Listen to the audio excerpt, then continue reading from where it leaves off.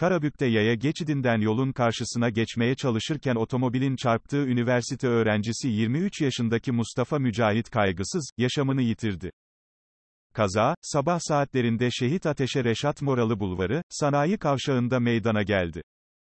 Karabük yönüne giden 28 yaşındaki Yalçın K, idaresindeki 43 plakalı otomobil, yaya geçidinden yolun karşısına geçmeye çalışan Karabük Üniversitesi İlahiyat Fakültesi 3. sınıf öğrencisi Mustafa Mücahit Kaygısız'a çarptı.